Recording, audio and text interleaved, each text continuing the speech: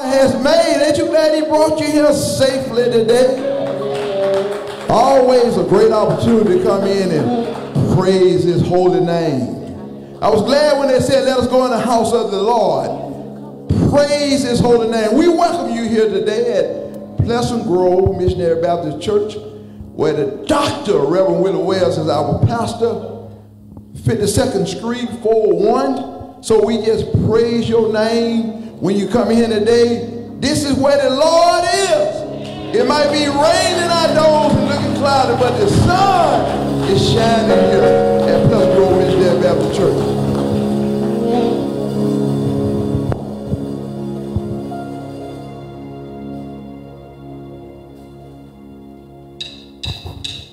Come on, put your hands together like this.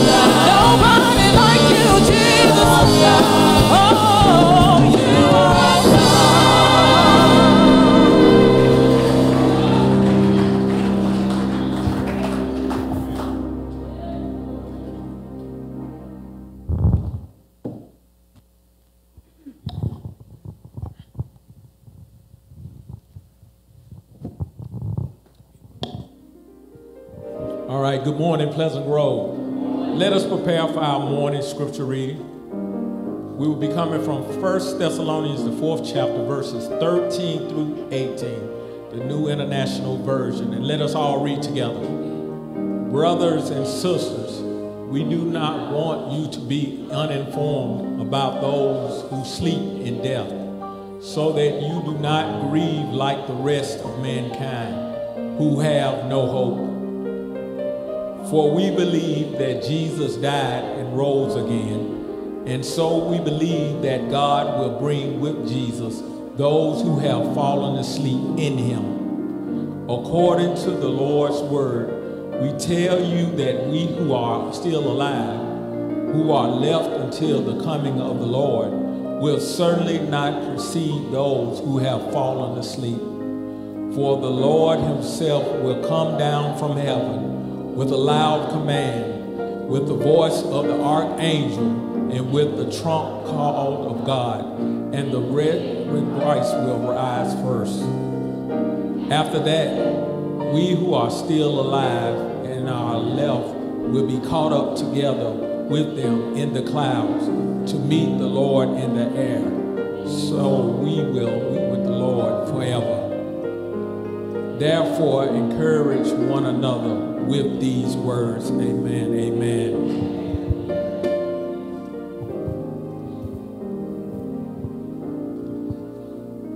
Amen. It's prayer time. If there was a time to pray, the time is now. Do you know you can call upon his name and he will answer? We ask if you are able to stand with us. If you are able, please stand with us. And as I pray, you pray.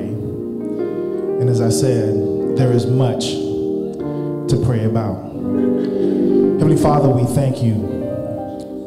We thank you as we come to this holy place, your sanctuary, the house of prayer, this hospital. We come, Lord, to you. We come to the Holy One, to the righteous one, to the just one, to the perfect one, to the loving one to the Holy God, our Father, our Savior, and our Deliverer. We thank you, Lord, for being who you are. We praise and magnify your name. You alone are God. There is none like you. So we come today to magnify and praise your holy name because of who you are. And Lord, because of who you are, your righteousness, we recognize in our sinful state, Lord, we have done some things that is not pleasing in your sight. And we agree with you, Lord, that we have sinned. Whatever it may be, thought, word, deed, or lack thereof, we agree, Lord, we have done them. Lord, we thank, we're thankful that you are a forgiving God. You're the forgiving one. So, Lord, we thank you for forgiving us and continue to transform us to become more like you. You said as far as the east is from the west, that's how far you have removed our transgressions. Thank you, Lord, for being so forgiving. Lord, we lift up those who are here today in Pleasant Grove Missionary Baptist Church, this congregation, this hospital. We pray for those who are in need right now, Lord. We pray for those who are going through right now, Lord. We pray for those that financial situations have uh, taken their mind and our, their focus is off of you. Right now, Lord, let us refocus back to you. Let us look into the hill from whence comes our help. Our help comes from you, O Lord. For you own everything. And we believe, Lord, that you are on the throne and you are sovereign. We thank you right now, Lord, for this congregation. We pray for them right now, Lord. Meet them at the point of their need. Lord, we lift up our pastor to you right now. Touch him. Have your way with him, Lord, as he comes to bring forth the message. We not only pray for him, Lord, we pray for his family. We pray for protection upon him right now. We pray for the leadership of this church. All those who lead us with positions, Lord, have mercy upon us. Keep your hands upon us right now that we do your will, your perfect will. We lift up the city of Fairfield to you right now, Lord. You know the situation. You know what state that we're in. It looks like things are hopeless, but we know, Lord, there's hope in you. That the transformation is coming. We believe, Lord, that transformation is coming to Fairfield. We pray for the churches, church leaders right now, Lord, that you have your way with us. We pray now for the state of Alabama. We pray for these United States of America. We pray for the president of the United States of America, Biden, right now, Lord, and the uh, vice president, Kamala. We pray now for the election that's coming up. We don't put our hope in the election, but we put our hope in you. And whoever gets up in there, Lord, we still lean and depend upon you. For you are the author and finisher of our faith. We thank you right now, Lord. Have mercy upon this world. Have mercy right now. We need you, Lord. More than ever. We need you. Every hour we need you right now, Lord. So have mercy, oh Lord. And we'll give you the praise that we proclaim your gospel message to those to this lost world that is in need of love, that is in need of you. Have your way now, Lord. We thank you. We magnify your name. It's in Jesus' name we pray. All say amen. Amen. Amen. I don't know about you. But I've come to praise the name of the Lord. I've come to magnify his name. I've come to glorify his name. For he is worthy to be praised.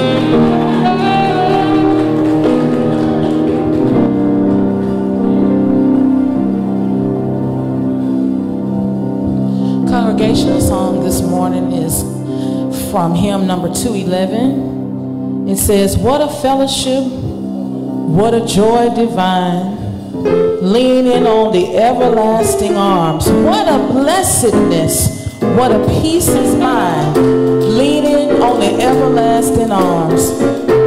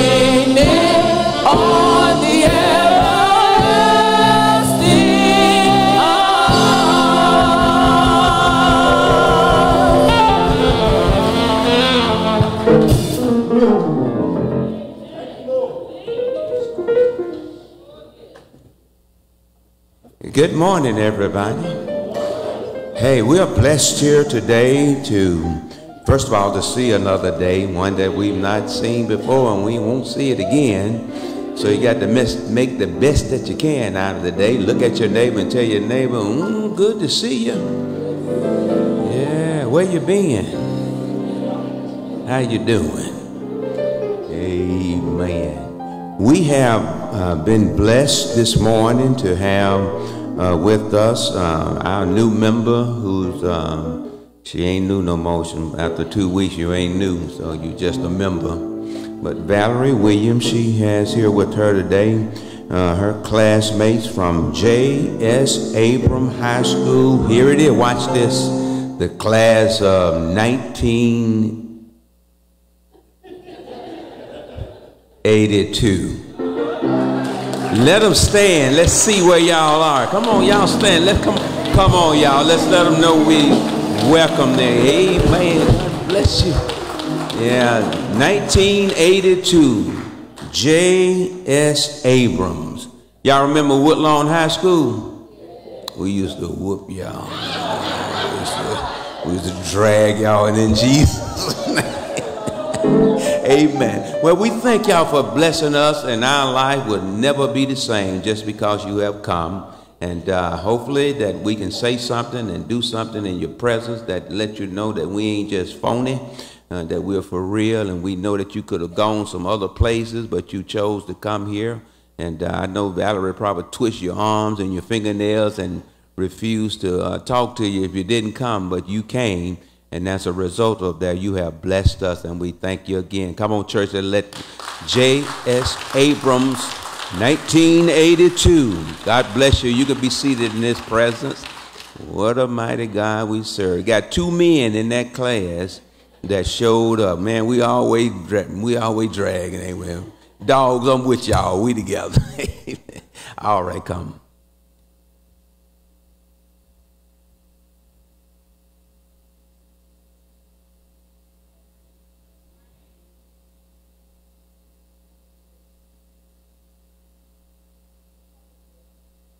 We're happy that you guys came to visit with us. Um, I stand before you just to greet you and say welcome to Pleasant Grove Missionary Baptist Church. We are so excited that you came and blessed us this morning uh, with your presence. We hope that um, you will be blessed. Pastor Wells really said it all, so I'm standing here just going off of what he said. But we are excited that everyone, all of our guests are here uh, worshiping us. We appreciate you. We thank you for coming uh, to Pleasant Grove this morning. We hope that when you walked in the door, you felt the love of God in this place. Um, for those that are present, we do have a token when you leave this place. Stop by the work, welcome station, um, and they will give you a token of love uh, this morning. And again, we say welcome. Thank you for stopping by Pleasant Grove this morning. Please come back again. Um, we love you and we hope you have a wonderful and a beautiful rest of your day. God bless you.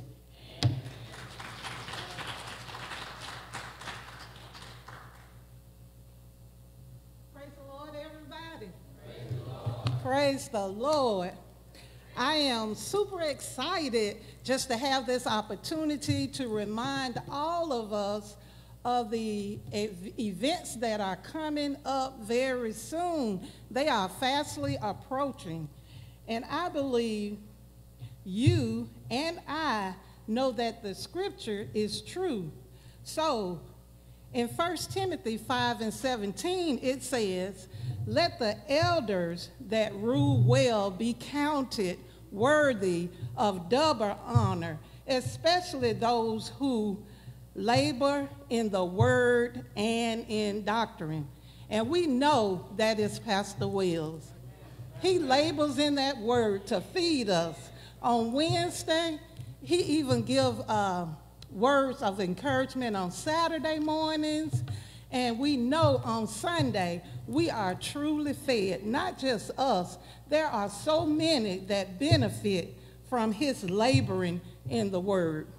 So let us purpose in our hearts to honor Pastor Wells and First Lady Wells by um,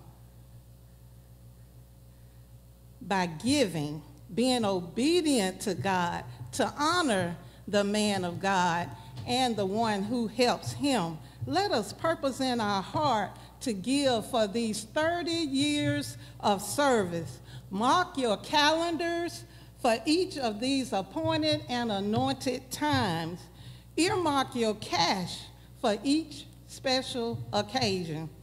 The Diamond and Pearl Gala, the memorabilia and souvenir booklet, and the Sunday anniversary worship service. So the Diamond and Pearl Gala is Saturday, October the 12th at 6.30 p.m.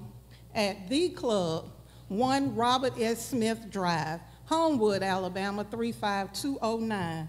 Please secure your tickets by Sunday, September the 29th. Adult tickets are $75 each. Children under 12 tickets are $25 each. The memorabilia book and the souvenir booklet, gather your family together to get an ad.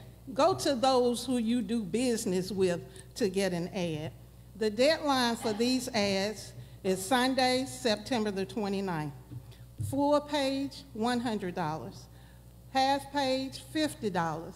A quarter page, $25. Submit your ad to pgmbc21 at att.net. Black and white or full color photos are accepted. All ads are high resolution printed ready. And the grand finale will be Sunday, October the 13th. You know, Pastor's heart is for us to have God's word in our hearts. So meet us at 9:15 uh, for Sunday school for the hour of change, and then at 10:30 a.m. for the worship service. There is no assessment, but please see your ministry leaders so that each ministry can give out of abundance of the heart.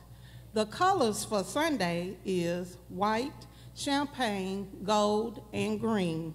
Remember, when blessing Pastor and Lady Wells, we are essentially blessing ourselves for Acts 20 says in part, it is more blessed to give than to receive.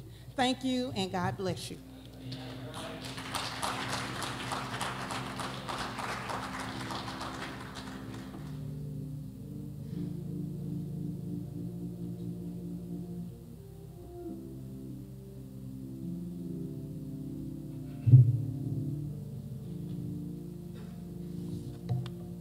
Giving time. It's giving time. I know that we have all asked the Lord for something, and He has given it to us. And now is our time to return, to give back. And this is also Special Effort Sunday. And we know what the assessments are, but we can go beyond that if you would like.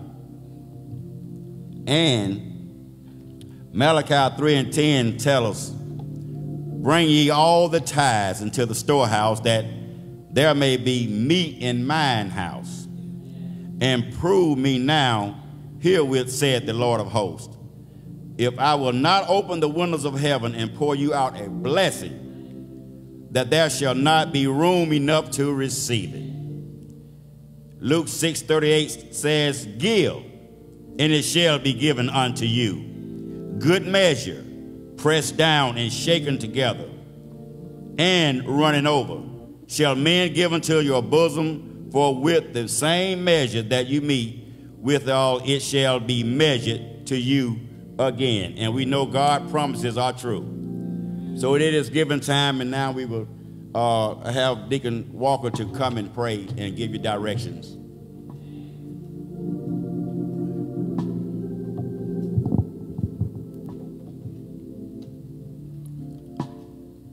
Heavenly Father, we magnify your name today.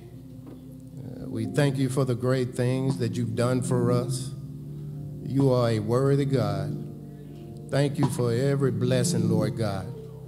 Uh, Father, we come right now to uh, be obedient to your word, to uh, give in this offering. Uh, we ask God your best blessings upon each and every one that will give. You've said in your word, Lord, that if we would refresh others, that you will refresh us. That the more we give, the more you give to us. So, Lord, we ask that you would take uh, what it is that we give today, that you would bless it greatly, that it may be used to upbuild the kingdom. We pray for everyone, Lord, that is already given. We pray for all of those who would give in this service. Bless those, Lord, who had the desire to give, but uh, just wasn't able today. And we thank you for all that you do, and we ask it in Jesus' name. Amen. Uh, I think uh, it's the third Sunday. If it hadn't been mentioned, uh, we ask each family for an additional $100 to help liquidate our mortgage. And it's not each and every individual in the family, unless you so desire, but it is for each family to pay an additional $100. All right, would you please stand and be governed by your ushers?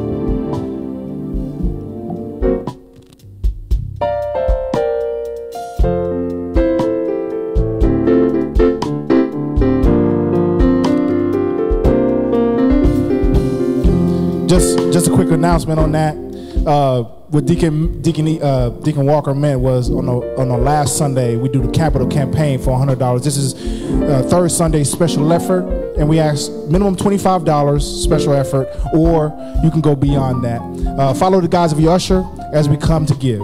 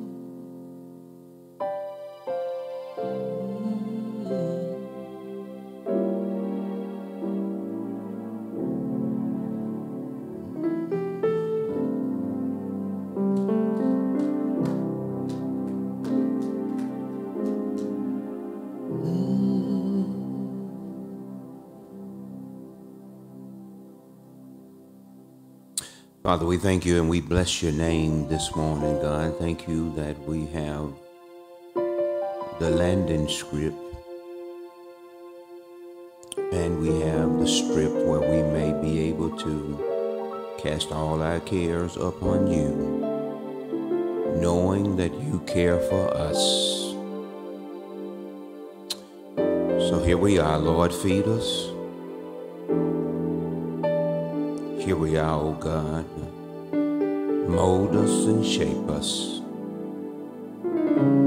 Create always within us a clean heart and renew a right spirit, O God.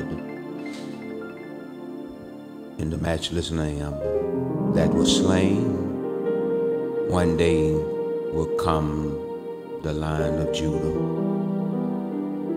Until that day, we hallow your name. It is in Jesus we pray. Let all the church say amen. Say amen again. Say it one more time. Amen. God bless you. Let me get you, if you will, those of you who are standing, thank you, and those who are able to stand, will you stand to show reverence uh, to the Word of God? Yeah. That one messed me up this morning just now. Amen.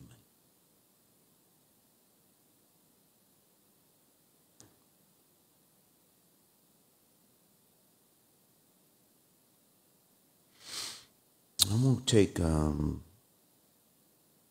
a relook at what we've already heard this morning in our scriptorial lesson. Um,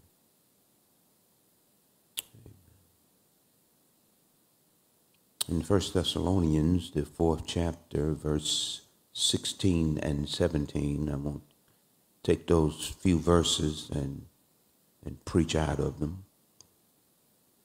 We are internationally, the NIV, we are, we love King James, and there are some translations that are crazy, but um, the NIV, the New International Version, uh, we switched over this year so that we could get a little bit more user friendly. And I think it does well. So in verse 16, for the Lord himself will come down from heaven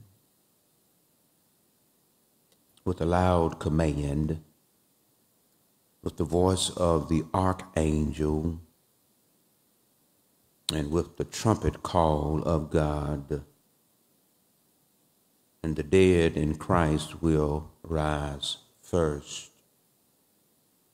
After that, we who are still alive and are left will be caught up together with them in the clouds to meet the Lord in the air. And so we will be with the Lord forever. Look at your neighbor and say, uh, This preacher today I'm going to preach from this subject. Get ready. Look at them again. Get ready. Look at them one more time and look over there and smile. Let him say, Get ready.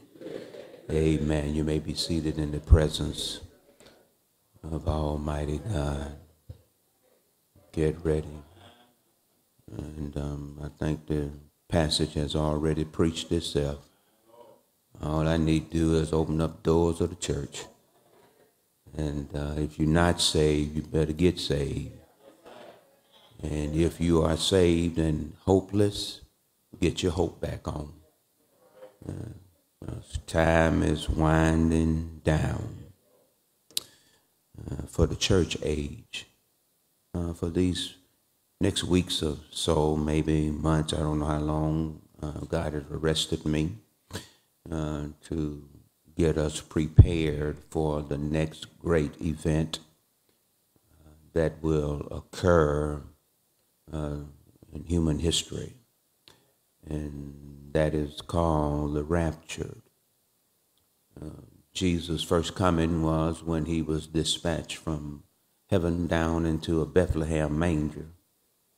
That was his first coming.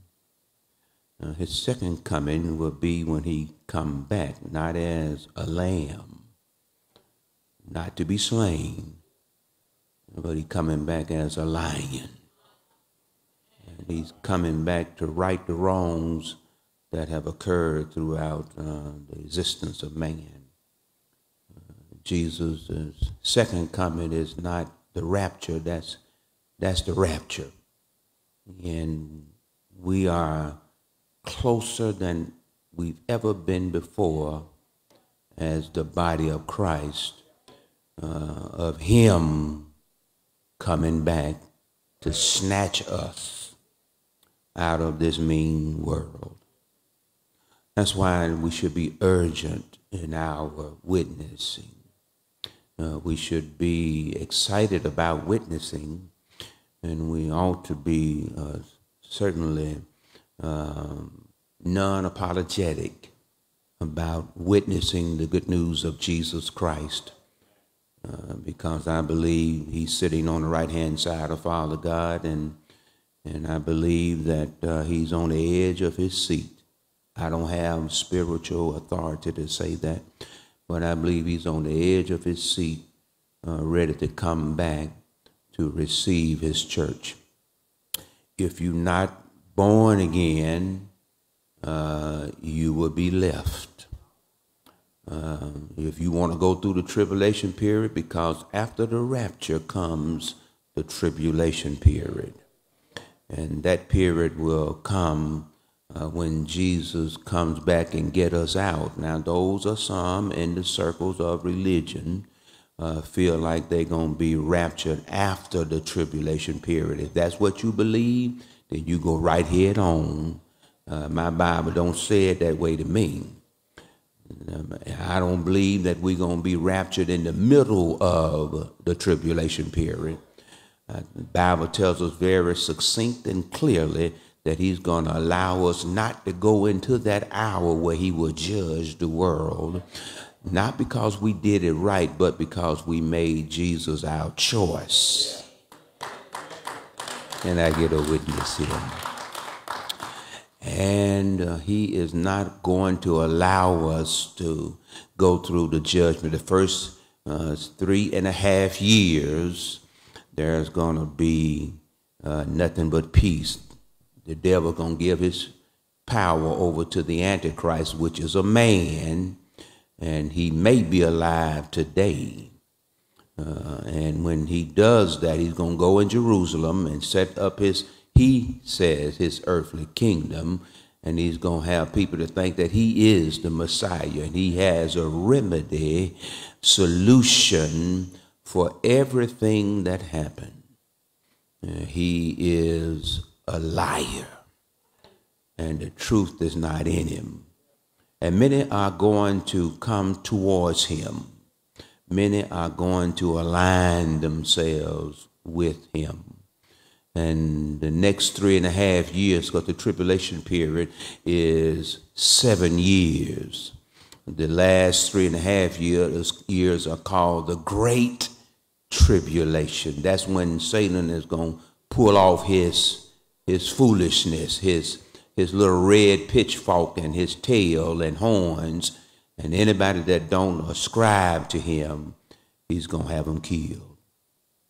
But the church is going to be in heaven with Jesus, and there are going to be 144,000 men that have not slept with women that are going to be preaching the gospel, and people during the tribulation period are going to be afforded to be saved. But every last one of them will be killed But Paul said it best to be absent from this body, talking about born again believers, is to be present with the Lord. I ain't getting no help up in here. And that period is hurriedly coming uh, before us. Eddie Kendricks, uh, with the for with the Temptations, said, "I never met a girl who makes me feel the way that you do. You all right? Look at them 82 folks. Look, look at the 82 folks. Whenever I'm asked who makes me dream, who makes my dreams real, I say that you do. You're out of sight. So fee, fi, fo, fum. Look out, baby. Cause here I come. And I'm bringing you love that's true. I heard somebody say that. So get ready. Get ready. I'm going to try to make you love me too. So get ready. Get ready. Cause here I come. Get ready. Cause here I come. I'm on my way. Get ready. Cause here I come. Oh, let me turn this iPad. Oh, I got the wrong message. I'm sorry. I was listening.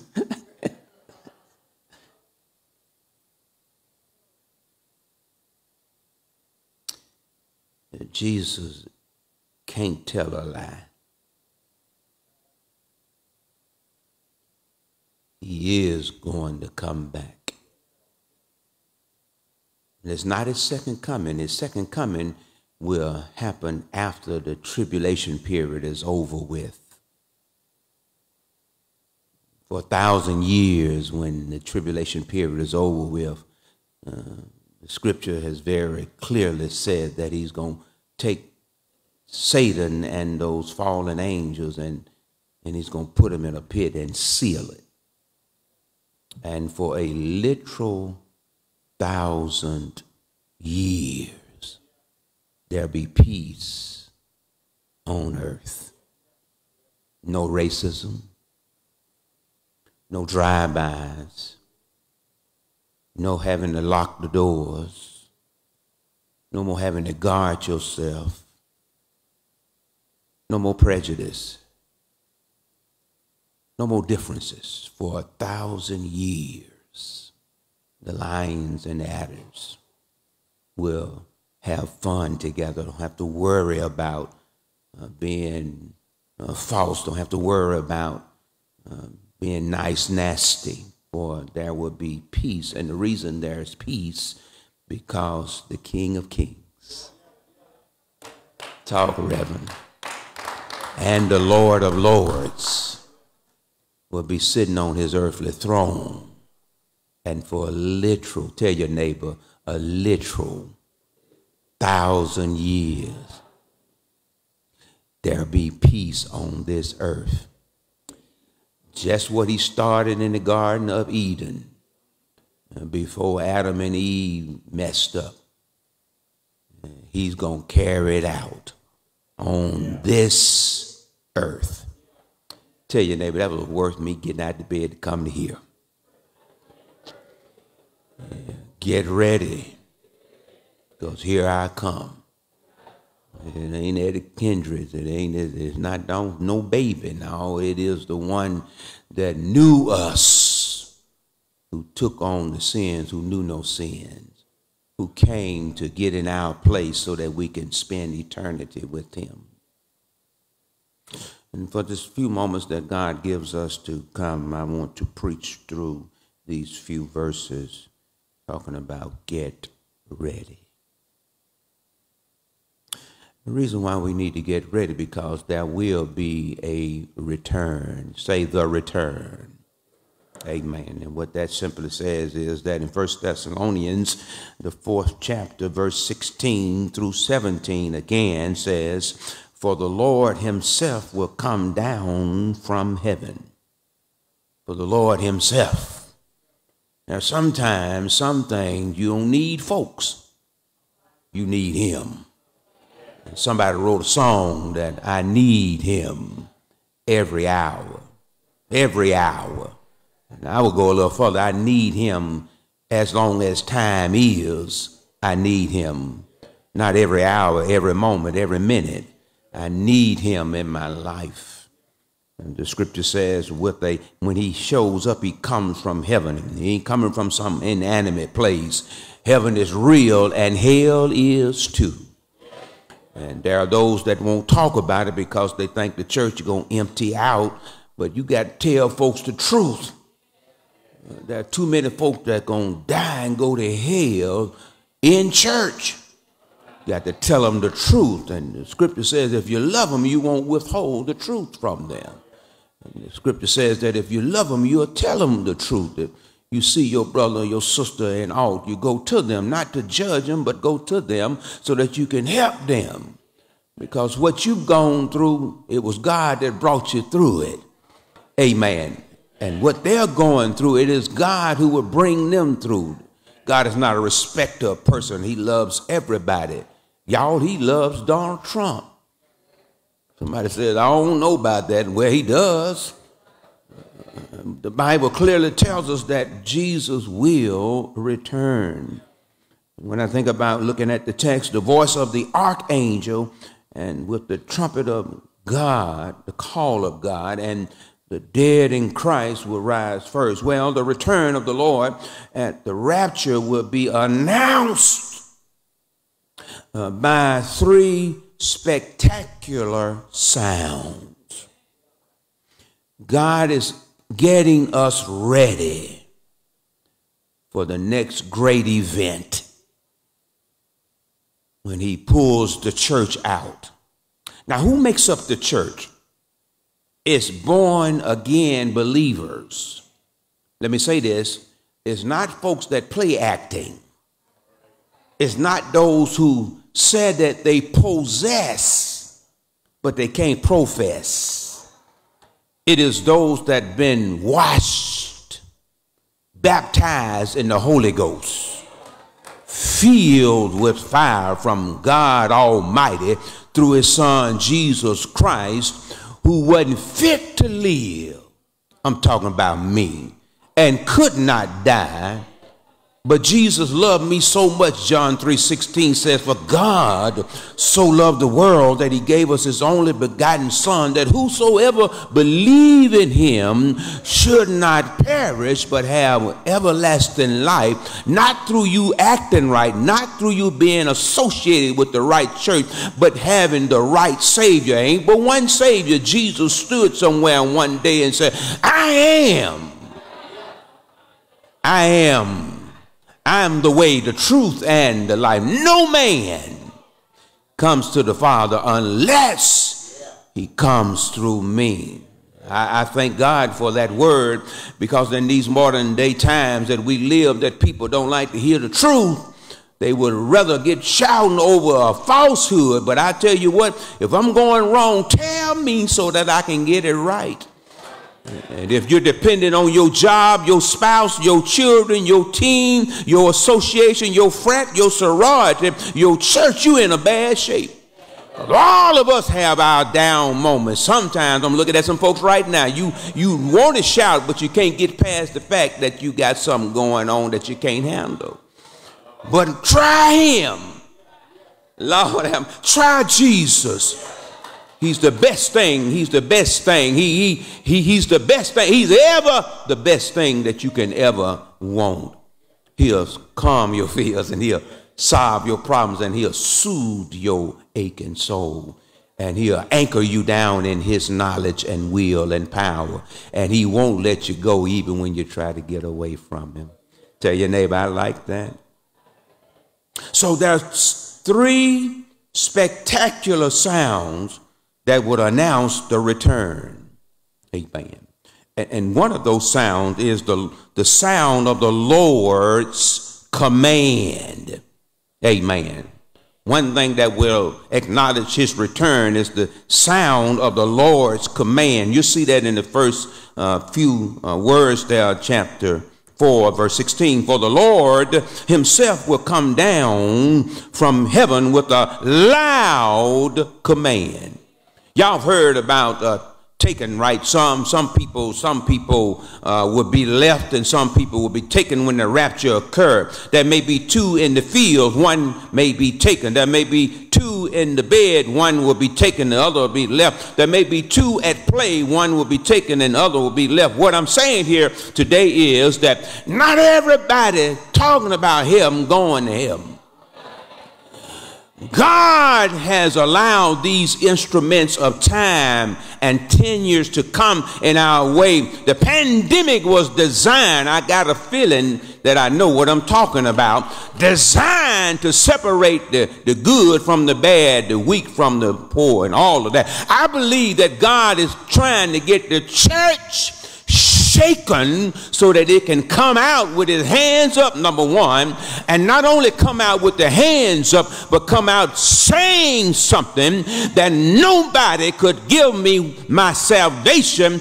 but Jesus Himself. I ain't got nobody shouting here this morning. God saved us not because we deserved it, but it was His grace and His mercy that caught us and apprehended us and grabbed us and strangled us and tied us up because we tangled up in it. It was God's grace, unmerited favor, God's, God's mercy that he didn't give us what we rightly deserve. Aren't you glad this morning that when that sound comes, that loud sound, folks may not hear it, but if you've been anchored in the Lord, you'll hear it. Can I get a witness whether you are dead, sleeping, or alive? Be, a, be allowed be a loud, spectacular sound. And the scripture says, with a loud command, God Himself through His Son, Jesus Christ. Not only that, but then He says there'll be the sound of Michael's voice. I help you with that. The middle part of verse 16 says, with the voice of the archangel. Say, voice of the archangel. Now, you, you may not have been the seminary, uh, uh, but one thing you need to know that an archangel is different than just a regular angel. There are seraphims that, uh, that holler, holy, holy, holy holy, holy, holy, holy, holy, holy. When you won't open your mouth at church, you ain't got to worry about it. God got some angels there, seraphim, and they holler, holy, holy, holy, and they cover their eyes and they cover their feet and they take the other wings and fly around and they holler, holy, holy, holy, holy, holy, holy. Then there are some cherubims.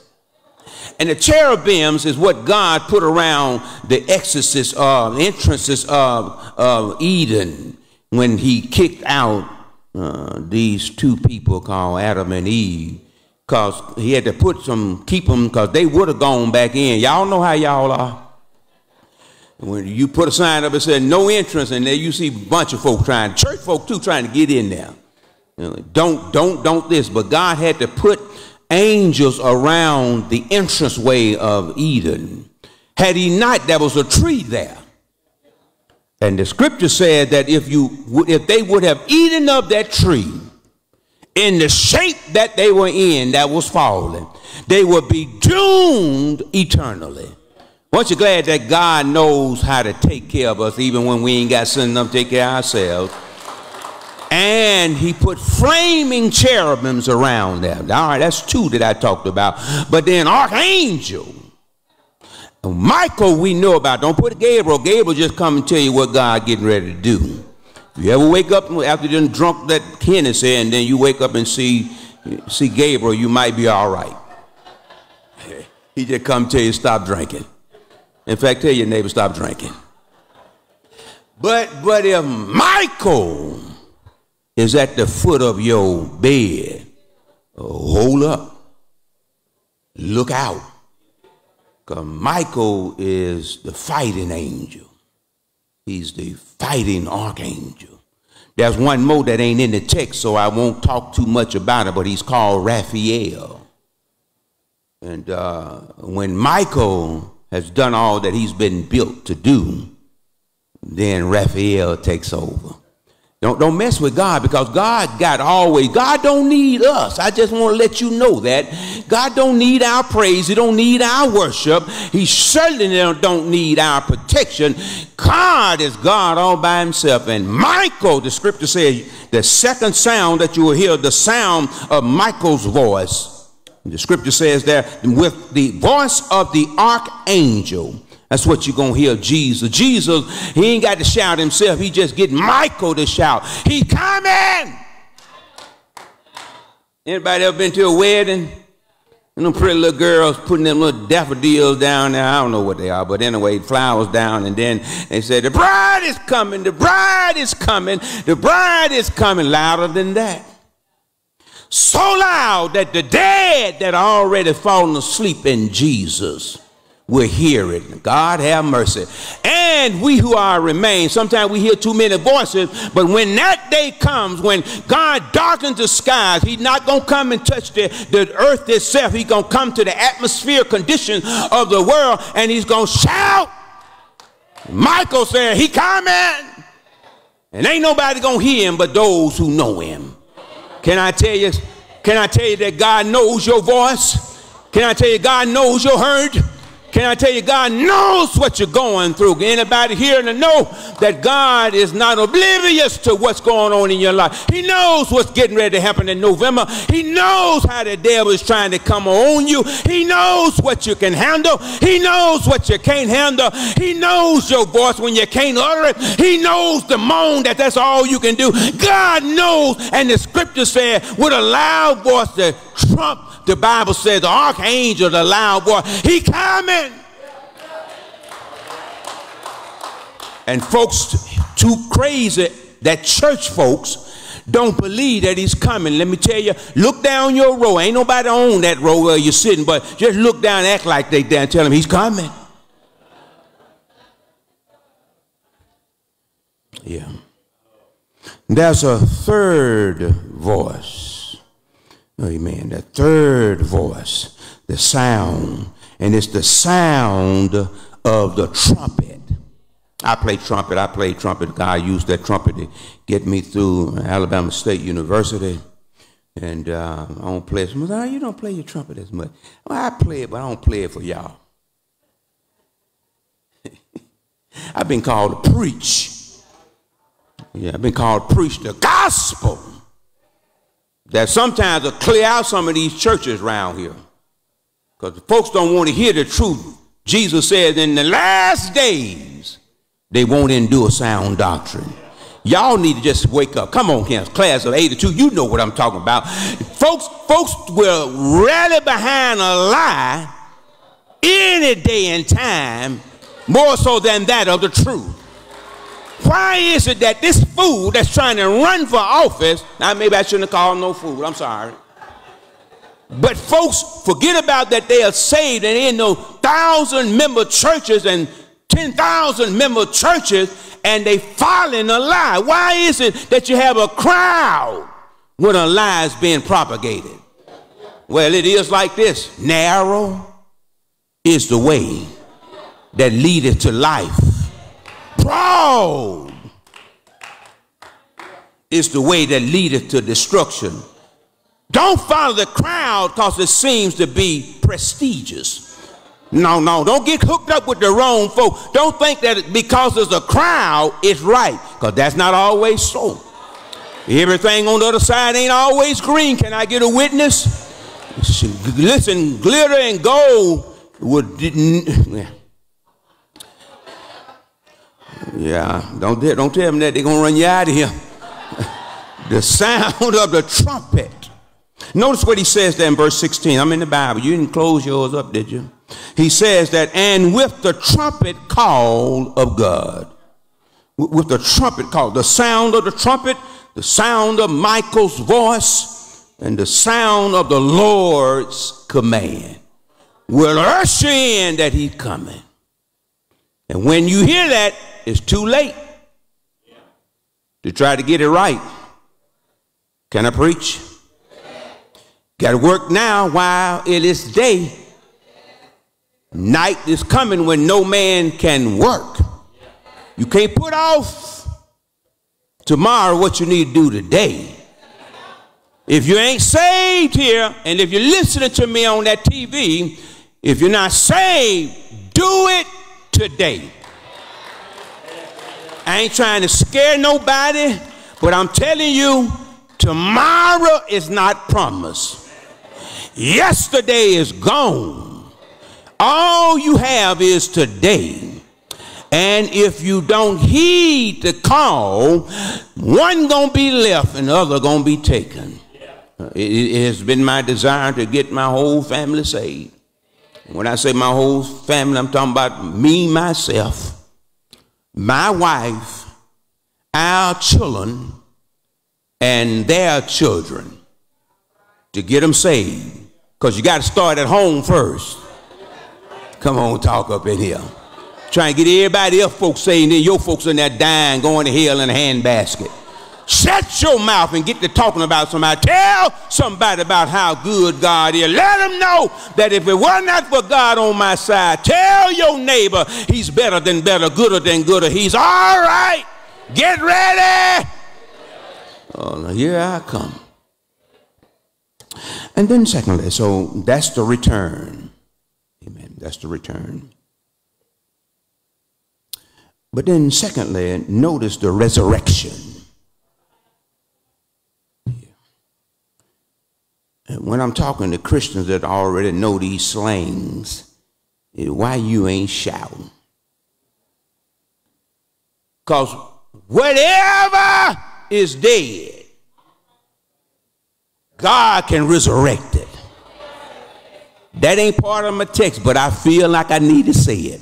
Whatever is dead in your life, and God wants it resurrected, God knows heavenly CPR. God has paddles that can shake a dead man and a dead woman. I ought to have about 12 of y'all in here, and I'll make the 13th one to know that you ain't always been like you are. You ain't always been that way. You ain't always been raising your hand. You've been raising your hand for Bobby Blue Bland, and you've been, I got to say with the 82 folk, Bobby, oh, oh, Prince, I'm sorry, yeah. You, you, but now God has come in your life. What a time, what a time. Aren't you sad that you didn't have this earlier? Aren't you glad that the whiskey ran out and the wine ran out and the party is shut down? But man, when you hook up with Jesus Christ, Lord have mercy. When you hook up with him, it'll be an everlasting party. When I think about the goodness of him. Say resurrection. Yeah, so resurrection First Thessalonians, the fourth chapter, verse 15. You got your Bibles? How many y'all believe that one day Jesus is coming back?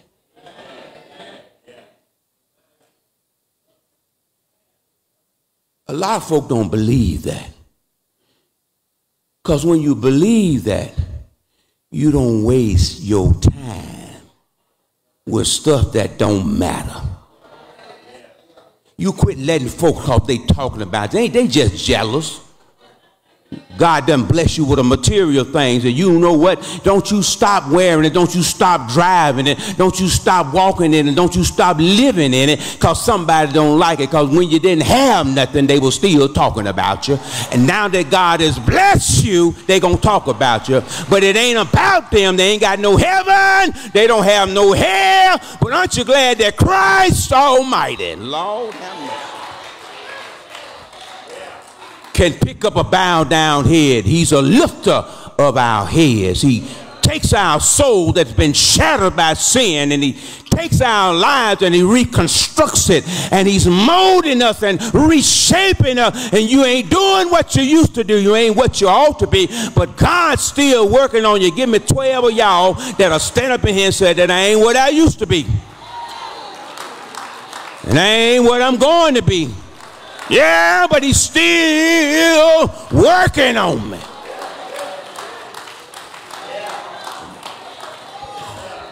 Get ready. Because he's coming.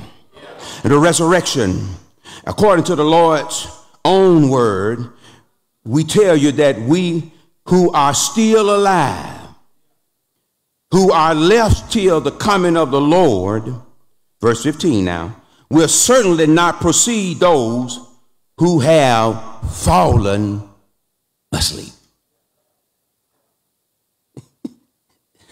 Went to Baltimore a couple of weeks ago to the National Baptist Convention, and even after having uh, having a preferred ticket paid for it and got a preferred seat, had to get in line.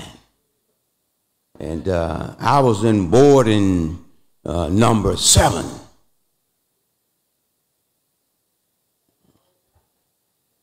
I said, what good did I go pay for this ticket ahead of time for? And uh, so I asked one of my buddies, I said, he said, you ain't flying first class. I said, well, I wasn't going to fool with no first class money. I just, I said, what they do in first class? He said, uh, they, uh, you got leg room, first of all, with your tall self. Then they bring you a little something if you're a little nervous. Abrams, y'all don't, God done changed you now. Don't do that. and they give you some calm you down. And, and, uh, and you up there, you first on, first off. Aren't you glad that when that day come, Paul them, Bartholomew them, Jeremiah them, all these are bad preachers that think they got it going on, all of them. Listen, I'm so glad that those that died believing that Jesus will come, Jesus gonna get them up first. Grandmama that had to pick that cotton. Come on, talk to me.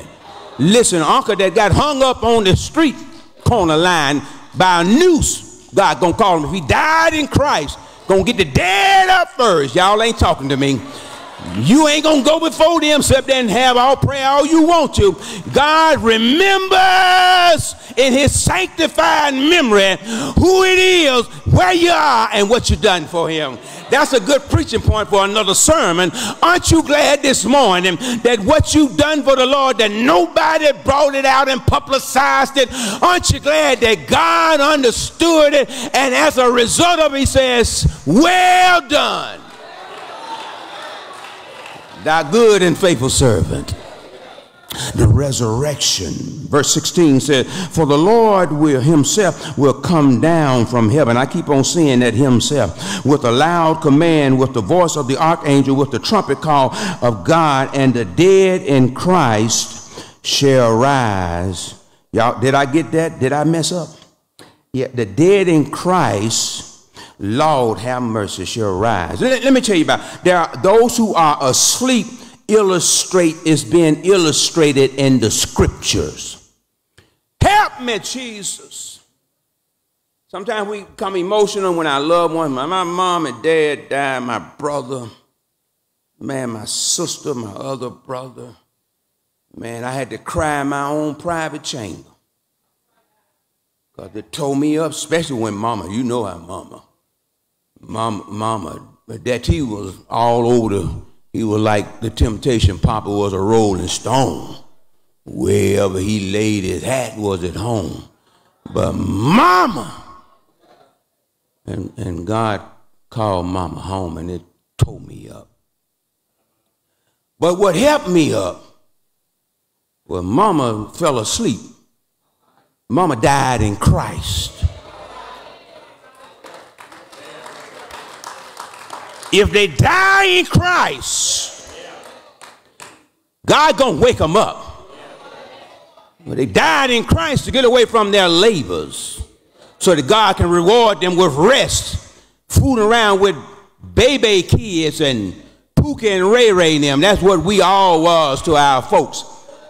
Out wringing their hands at night, you out there partying. They told you to be at home before the street light went on, but you, it's 12 o'clock and and uh, you gonna test them and see can you, cause you the man. You 16, you got you got it going on. And I showed up, and my mama, I knocked on the door cause my key didn't work. And I, and I couldn't get into the house because she had it locked up. And I said, Mama! She said, You gonna sleep outdoors tonight. I said, No, you ain't gonna do me like that. She said, You did yourself like that. Now, I don't know what my point is in saying that, but I need to let somebody know this that our God don't leave us unprepared. Can I get a witness? I got to stay with this text here because when we think about those that have died in Christ, I don't want to minimize it. I just want to help you. If mom and them died in Christ and it's been 12 years, you got to let them go on rest. Amen. Listen to me. I don't mean to be insensitive. Because they in a better place if they died in Christ. You ain't got to say amen, but let me help you. Because to be absent from this body is to be present with the Lord. And where is the Lord? He's in heaven, sitting on the right hand side of God. And I'm glad that when Jesus went to the cross, everybody that died believing in him in the Old Testament, the Bible said he was the first one on that third day morning when he got up then after he got up, he woke some other folks up and sent their souls to heaven. Aren't you glad today that God won't ever run off without you? He won't ever forget about you. He'll resurrect that spirit that's fallen down. He'll pick you up and turn you around and place your feet on solid ground. Yeah, resurrection, resurrection. 3 in John the 11th chapter verse 11 write it down. I'm trying to get through. It's 11:55 these folk got to go and eat. We do too. John the 11th chapter verse 11 remember I said that the illustration of those that are asleep is visualized in the text throughout the Bible. I can't give you all. I just got to give you a few Acts, John, the 11th chapter, verse 11. Notice what he says. After he had said this, what he said in verse 10, he went on to tell them, Our friend Lazarus has fallen asleep. Asleep and death for a saint is synonymous. I ain't talking about that sleeping that y'all do. Well, you you know you, you know what y'all do. I'm talking about you know how you got to get up twelve times in the night. Give me a man that ain't shamed to say I know what you're talking about, preacher. You know how you toss and turn. You can't you can't get can't get that sweet spot. Mm-mm. When God calls you in, He puts you in a sweet spot. He said Lazarus has fallen asleep, but Y'all let shout. Preachers on the front row one over there. But I am going to wake him up. I don't know how we going. It don't make no difference. I just need to know and let you know that those that have fallen asleep in Christ, they with him, and when it's time to wake up, Oh, Lord. Can't nobody call your name like Jesus. number two, Acts the seventh chapter, verse 60. Acts the seventh chapter, verse 60. Hey, you got to write this down. Hurry up. I got to move. Then, thank you. I, I love this crowd. Then, uh, then he fell on his knees and cried out, Lord, do not hold this sin against them. When he has said this, he fell asleep. Maze, that's all I've been saying. Boy, they've been they've been placating internet with Maze. Boy, Maze was a bad boy. Yes, he was. I ain't got no help in here. That's all right. I can be my own witness. Maze was a bad boy. Maze was on tour up until he died. You know what? Would that be a nice thing to be a Christian and done all you can do? You you crossed all the T's and dotted all the I's, and God has checked all the boxes. And he said, That's it.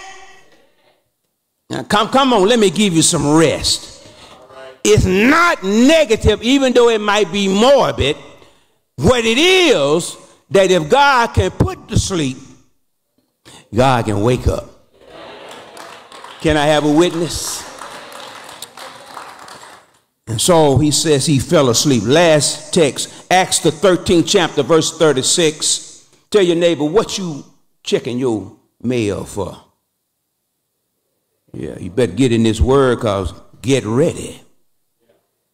Cause Here I come. Yeah, verse 36 in chapter 13 of Acts. For when David had served God's purpose in his own generation, he fell asleep. He was buried with his fathers, and his body decayed. But who want this after these many years? Hair done got gray, teeth falling out, hearing gone bad, knees acting up, eyesight dimming. There's their ears going bad. Can't open the bottle up because your hands, metatarsal, you ain't got no, can't wear the shoes. You, wear them nice pumps, but you got them slides. Yeah, you can't do all that. You remember how you used to be able to get up and remember what you got up to get up to do? Mind done got a little quiver, your temper done got a little crazy. Sound like some Alzheimer's folks up in here. But time is working on our physical bodies. Can I get a witness here? But aren't you glad I'm almost where I need to be? Aren't you glad that God has promised us a brand new body? Come on, y'all. He got a brand new body. He'll, he'll wake up, he'll wake up, make that new body that made with hands and put that spirit that he's already conformed and put it in that new body. And what a time, what a time. What a time, what a time. Man, talking about playing hopscotch and, and all that. What a time, what a time. Man, having a good mind, you know what you got up to do and know why you got up to do it. What a time, what a time. Knowing that there are no limitations. But we ain't there yet. But get ready. Because he coming. Thirdly, it will be noted by the redemption. We looked at the return. We grabbed hold to the resurrection, knowing that when all this over with, when this mess, this what you call fine mess, God got something finer than that. Yes, Lord. You won't have to go on and put on Victoria this and all that. Said, preach, Reverend. Yeah, I like that, I'm telling you. But the redemption in 1 Corinthians, the 15th chapter, verse 42 and 44, it may be on the screen. Let me help you. Because the redemption, your redemption draw it now. Talking about saints of God, to you that not been saved, don't walk out of here. Don't turn off the TV. Don't disconnect, don't unplug. Because you can have salvation the day you hear my voice. When you hear my voice talking about Christ, he'll save anybody from the gutter and take you to the other. Can I get a witness here? Don't you turn off. Don't, don't care because you may not be saved now, but for this benediction is given, you can have salvation today. And you don't have to change nothing. All you got to do is come to him just as you are, weary, wounded, and sad. And I'm here to tell you that he'll save the lowest of the lowest. How you know, Reverend? Been there the redemption. First Corinthians, Paul is talking in 15 chapter, verse 42. Notice what it says, so with it be with the resurrection of the dead. See, see, let me say this because see, these folks in, in Thessalonica, they were concerned. They believed, they, they believed that their loved ones that died, but they had a problem. When would they be wakened? They, they, had, they didn't understand that. And so they were asking question, what happens to them? And the Bible is very clear to them about what happened, and that changes your whole perspective on things when you know that weeping may endure for a night. but joy is on the horizon. It may not be your morning, it may be your midnight. Whatever it is, joy will come after you done gone through what you've gone through, after you stood the test of time, after you told the Lord, I love you, and for you, God, I will never forsake you, after you told the Lord, not only save me, Lord, but use me in your service, you think God gonna let you go down this lane, not having enough, not having the right, not having this? Do you not know that God is able to do greater things in your life? All he wants you to do is to depend upon him. Don't you know that all the hell that you took last year God's going to reward you for that. Don't you know God ain't waiting for you to get to heaven to reward you? He wants to reward you right now. Don't you know that the God that you serve is a living vessel, willing vessel, and he will bring whatever going to you. He'll take your captives and he'll set you free. He'll make your enemies your footstool. He'll prepare before you in the table in the presence of your enemy. He'll prepare a table before you. He'll take your haters and have them, hallelujah, you, he'll take your low down, necessary enemy and make him become your friend. Just got to let him do it. Now, watch this because the redemption is here.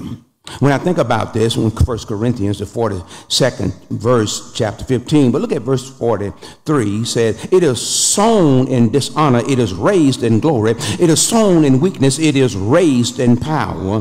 Verse 44, it is sown in a natural body, it is raised a spiritual body. Is if there is natural, a natural body, there is also a spiritual body. I am redeemed bought with a price. Our new bodies, you want to hear about it? I ain't got but a couple more points. You want to hear about it? You got time? Our new bodies will be incapable of sickness and death.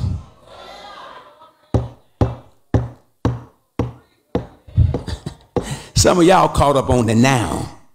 God wants you to get caught up on what it's going to be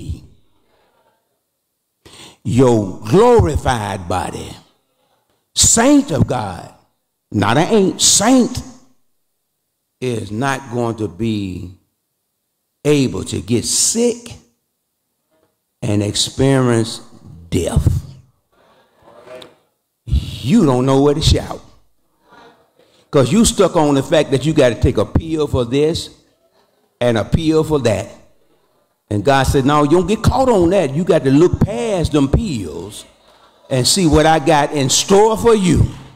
You need to look. You ever been to the movie? Yes, you have. Don't act like you ain't been no movie. And, and then you sit there and you look at them previews of the attractions coming. And that sets you up for the next time you go into the movie. Unless you bootleg and you get it you know. So our new bodies will be incapable of sickness or death. That's good, isn't it? Somebody says, How can you prove that? I, what you think I've been doing up here for the last 20 minutes? It's in His Word.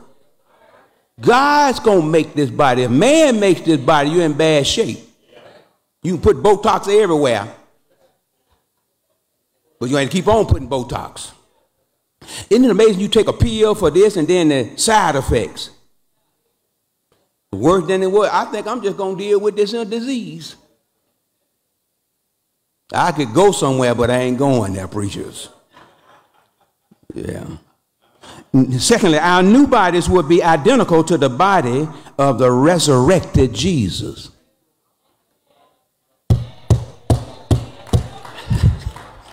You ain't getting happy.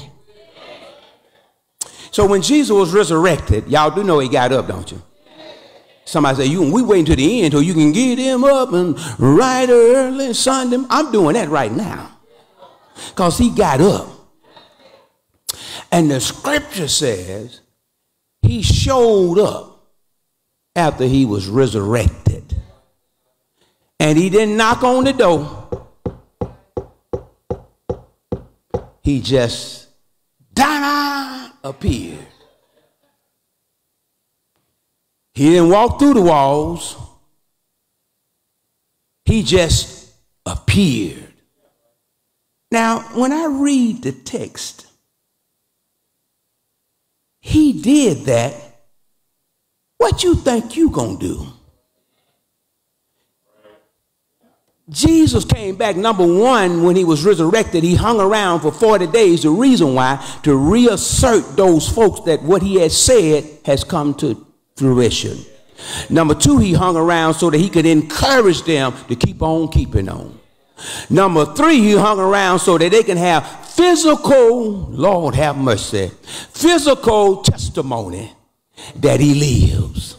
Lord have mercy, y'all. We may have not been back there when he got up, but we know he got up.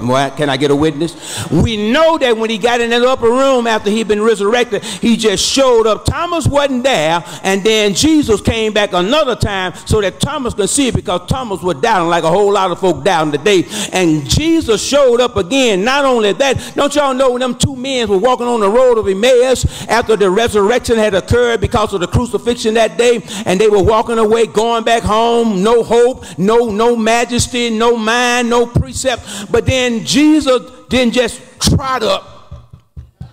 The Bible said he just showed up. And when they went to talking with them, they didn't know. They said, Man, what you mean you don't know what done happened back there in, in Jerusalem? You don't know what happened? And then Jesus kept on talking with them. And then they had some food that evening. And on the beach, they were doing fish and chips, Reverend Johnson. Amen. Cook, cook delicately. And Jesus was sitting there with them, and he was eating. That's what you gonna have. That's what I'm gonna have. But you ain't gonna have to take no Pepcid. You ain't gonna have to do no uh, what that uh, that uh, purple pill. Yeah, no, I'm talking purple pill, Jay for, for acid reflux. Okay, he, he the baby in the, he the baby in the acid reflux. You know how you got to get your Sprite so you can belch? You ain't had to do none of that because he to give you a glorified body. Lord have mercy. Isn't that a blessing? Get ready to get a glorified body. I got to move. I got to move. Philippians 3 and verse 20 through 21 says, But our citizenship is in heaven, and we eagerly await a Savior from there, the Lord Jesus Christ. Verse 21 Who, by the power that enables him to bring everything under his control, will transform our lowly bodies so that they will be like his glorious body. Go up there talking about Creflo, talking about you going to be Jesus. No, you ain't be no Jesus. You ain't finna be no God talking about we little gods. You might be little idol gods. And God says, I have no false God before me. But we will be like Jesus, just like his body. You ain't gonna be just flying around, you gonna just be hanging out. When Jesus come back with us, and we ain't gonna just be having some tore up bodies, can't hardly get up, mm-hmm. arm can't raise your arms, and uh, ear, earwax all in your ears, can't hear. Our new bodies will be identifiable by all who knew us on earth. Ain't this good, y'all? Folks that don't go to heaven, you won't remember them. Because if you can remember them, you'll be sad. God knows how to wash what he need to wash. But everybody that's going to heaven, I'm gonna know y'all. How many y'all saved and you ain't shamed? Man, y'all gonna know me when y'all get to heaven. Y'all gonna say that that crazy preacher that over there in Fairfield. Y'all gonna know me, and I'm gonna know y'all. I'm gonna say that them crazy folk from uh, J.S. Abrams in '82 that came to church. That's them. You going you gonna be known by them and they gonna know you. They may not look like they used to look him, but you're gonna know them. Because you really this that your your personality is not by your clothes. It's not defined by your hairstyle. It's not defined about the shoes you wear. It's not defined about what you're driving. It's not defined by where you live. Your personality, your character is defined about Christ that's in you and he's moving and shaking you, shaping you. Tell your neighbor, I'm, I'm gonna know, I'm to know you. You to know me. Yeah, yeah. So give me my money before you get up there because I'm to know you. I was at a funeral one day and tell you the truth.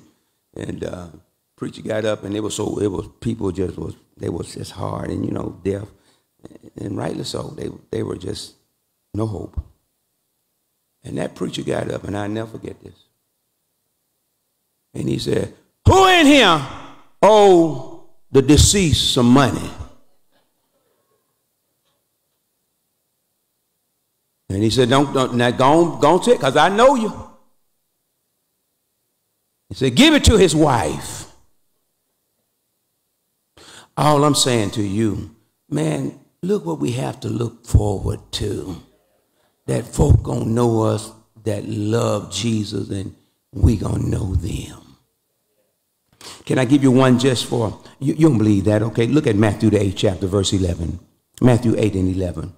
I say to you on screen, I say to you that many will come from the east and west and will take their place at the east with Abraham, Isaac, and Jacob in the kingdom of heaven. No. Remember when Jesus was on the, on the mountain of transfiguration? And, uh, and then they looked up there and they saw, look who they saw, Abraham. Who they see? Somebody said, we don't know what you're trying to say. Remember when Jesus was being transferred, we're going to build us three temples. And they knew, the disciples knew Elijah, he knew, the disciples knew them, and they knew them.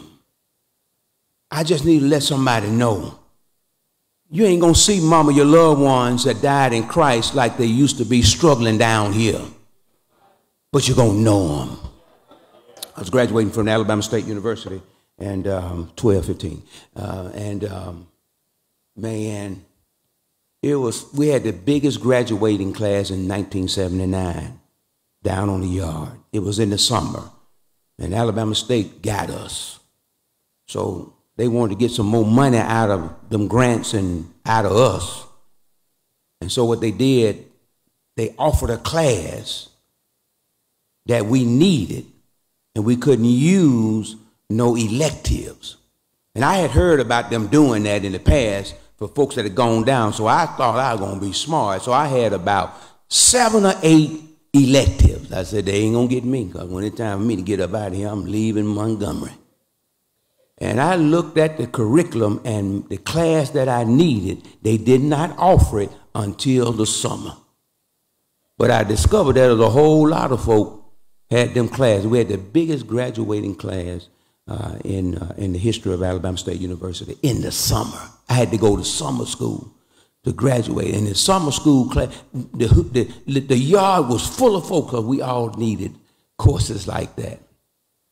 So when I finally walked across the stage, and uh, man, them folks were hollering for their for their children up there, and I said, man, my, my mom, I know she here, but uh, mom weak, mom, ain't she ain't gonna, ain't gonna, she ain't, I ain't gonna be, she ain't, she ain't gonna. And them folks called my name. They were talking about, they were talking about blank, blank, blank, sum kalum. And then this blank, blank, blank, cum laude. And uh, y'all know where I'm going, don't you? And uh, they got to Willie Wells, Wells. I just said, thank you, Lord. Uh, my wife, I used to try to cheat off her paper. She wouldn't let me cheat. Yes, she did. She let me cheat. but uh, but uh, I just thank you, Lord. And they called my name. And out of all them folks shouting, I heard my mama. She said, Junior! Man, I got to step in a little. Because I was the first one to go to college in my family. All I want to tell y'all that, man, God knows you. And he got you. Fourthly, then the rapture occurs in verse 17 of chapter 14 of 1 Thessalonians, and I'm almost done for this. Uh, get ready. Because here I come. 17 verse says, After that, we who are still alive, that's us, y'all, it could be, and left will be caught up. Say, caught up. Listen, I ain't talking about no maybe. I ain't talking about no trying to figure it out. I'm talking about caught up. Yeah, and I ain't talking about, I ain't talking about whipped down. I'm talking about caught up. Yeah. Together with them in the cloud to meet the Lord in the air. He ain't coming to the earth then. That's not his second coming. His second coming when he comes after tribulation period is over and he done done his thing. No, this caught up. This after the dead in Christ have risen. We that remain will be changed in the twinkling of an eye. He said, together with them in the clouds to meet the Lord in the air, and so we will be with the Lord. How long? Forever. Forever. I mean, forever. All you got to do is just take care of praising God. That's all we do all day long. Won't be no night, won't be no more downtime, just praising God forever. Won't have to worry about trying to conclude a sermon before 1230. No, we just we just be like we just be just just just be like Paul was. He was preaching and preaching for hours and hours, and Eutychus was up on on the outside of the the walls of the building with the windows open and, the candles going on, and Eutychus was tired. Paul had been preaching for hours. I'm talking about literal hours. Read your Bible. And Eutychus fell down and broke his neck. Paul said, Hold up a minute. And he went down there and laid on him. And God worked on him and got Eutychus up. And I guarantee you, Eutychus went back where he was. And I guarantee you, he didn't go to sleep and Paul went back and finished up his 1500th point. For you who looking at your clock. And so we seen that the rapture is going to happen. We seen the return say, yes, we did. You seen the resurrection say, yes, it will. And you seen the redemption, thank God that I've been redeemed. Yes, Lord. But then notice, if you will, lastly, the reunion. Lord have mercy. There it is, the reunion. Man, if you miss me down here, don't be too sad. Yes, I told the Lord, you uh, take my wife before you take me. And he said, you know, you don't know what you're asking for. Because she probably praying the same thing. but that ain't no problem. We're going to see. She ain't going to be my wife when, I, when we see us, each other again in eternity. Uh, but she, she already fine. And me too. Uh, verse, verse 17. After that, we who are still alive and left and be caught up together with them in the clouds to meet the Lord in the air. Here it is. And so we will be with the Lord. Be with the First, at the moment of reunion, the dead will come out of the grave and the spirit will re enter their glorified bodies. Secondly, the reunion occurs when all of us, and it could be us, who are alive and remain, will join them in the air. And there will be a family reunion. OJ's a family reunion. And that's why it's important for us to be talking about Jesus and getting folks saved.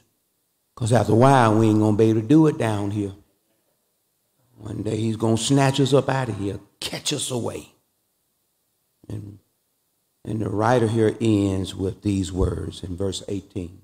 Repeat after me. Therefore, encourage each other with these words. Jesus did die. But he arose. And because he lives,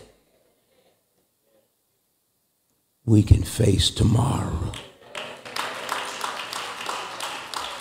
Because he lives, all fears are gone.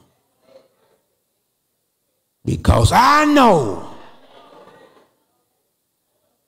that the future,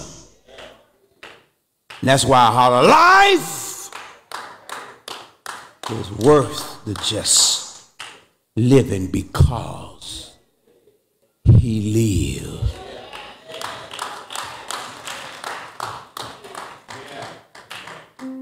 That's the, that's the word. It don't need no hooping. It need to be heeded.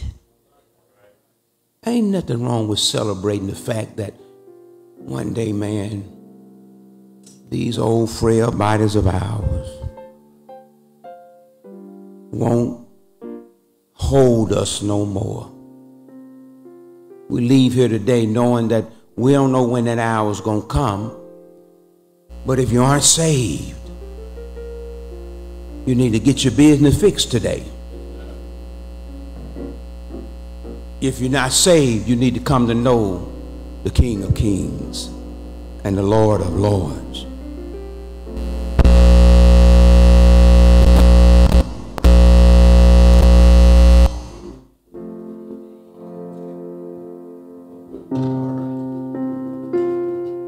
That woke us up, didn't it? They didn't plan that, and I sure didn't tell them to do it, but that shout gonna be louder than that. But just make sure if you happen to fall asleep, make sure it's in Christ.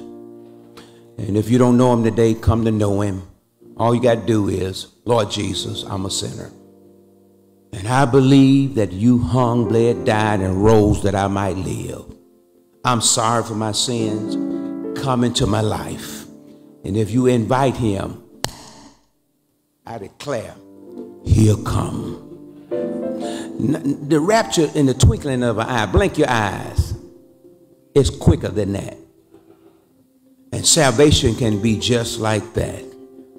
If you know him, and maybe you gotten a little off track because of life, but now God has re-envisioned your eyes to let you know that you're not left behind, that God has ordered your steps, and God will restore your joy. And then if you're looking for a church home and the master is speaking to your spirit and this is where he wants you to be, obey him. We're not a perfect church, but God is still working on us. And if you're looking for a perfect church, don't you join it. Because the moment you join it, it is not perfect. Just need to know we all are God's children. All have sinned and come short of the glory of God, but thanks be to God that He'll save us, He'll restore us, and most important, that He will give you a place where you can work out your soul's salvation. And as the song is being sung or played, or however the case is, if you're here today and those three categories, if that's one of yours, as that goes forth, will you just walk out of those pews and come down? These preachers are waiting for you to take your hand. But it is God, if you're not saved, that will take your soul. He'll give you a heart of flesh and replace that stony heart. He'll give you joy, unspeakable joy. He'll restore the joy of your salvation. But you got to make that move today. You got to do something. Get ready. For Jesus is coming.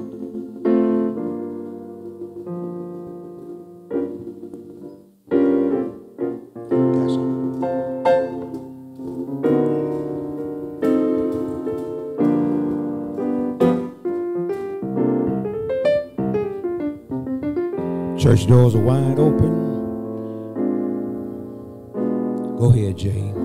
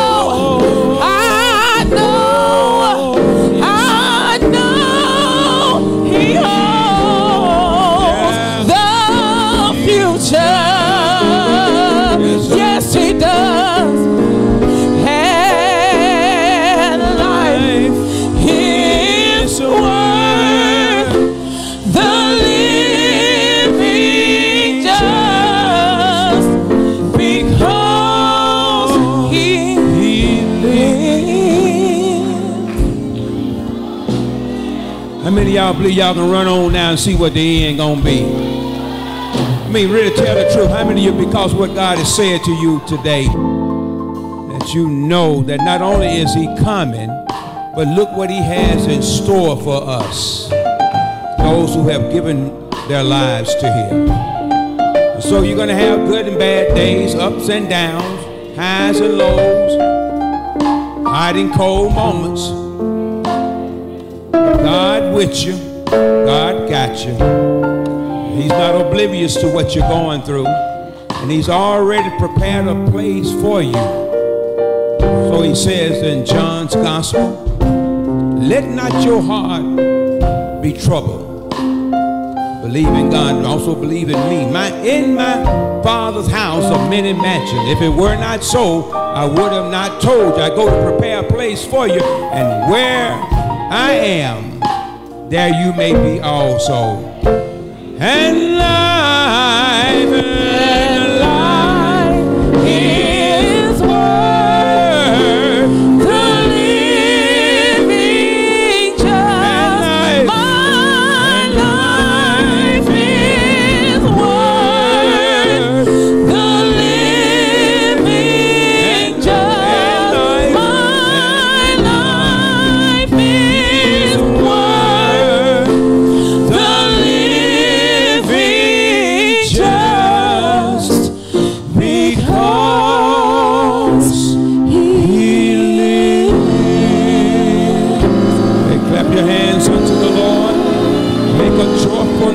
unto the Lord, all ye saints. Let the redeemed of the Lord shout hallelujah. If you're born again, tell the Lord, thank you. What a mighty God we serve. Now we're preparing to leave this place, never from his presence. And as God has blessed us, he's blessed us coming in, he's going to bless us going out. What you need to remember as God prepares us for that day, that will be a great day.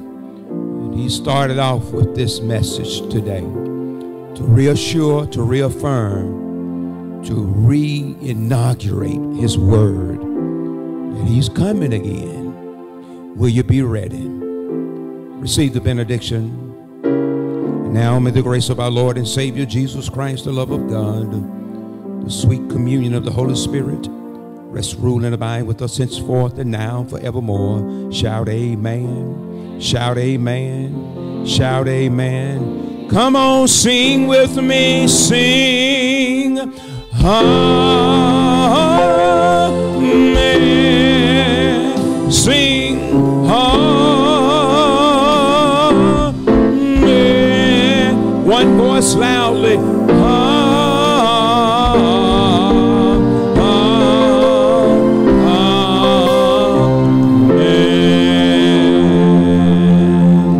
Clap your hands unto the Lord. Hey, I love you. Ain't nothing you can do about it. Will you tell your neighbor, I love you? Nothing you can do about it.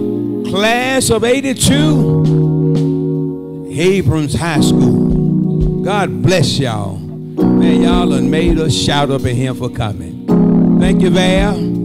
Bring him again. Amen. Hey, I want to I want to greet you out in the foyer. I know we still got some stuff going on with COVID, but we'll try to try to air hug or fist bump, something like that. But I want to meet you out there and uh, bless you again as you leave this place. Amen. Tell your neighbor, get your clothes, get your stuff, get your pocketbook.